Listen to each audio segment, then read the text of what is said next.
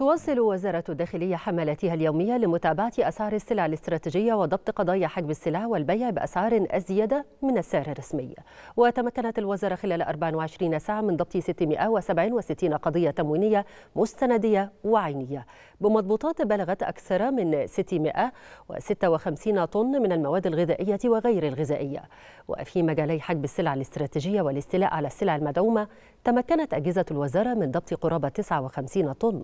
إلى جانب ضبط أكثر من 512 طن في مجال حجب أرز الشعير والأرز الأبيض. وكذلك البيع بأسعار أزيد من السعر الرسمي للأرز الأبيض. فيما تم ضبط قرابة 67 طن في مجال عدم الإعلان عن الأسعار بقصد البيع بأزيد من السعر الرسمي للسلع الغذائية.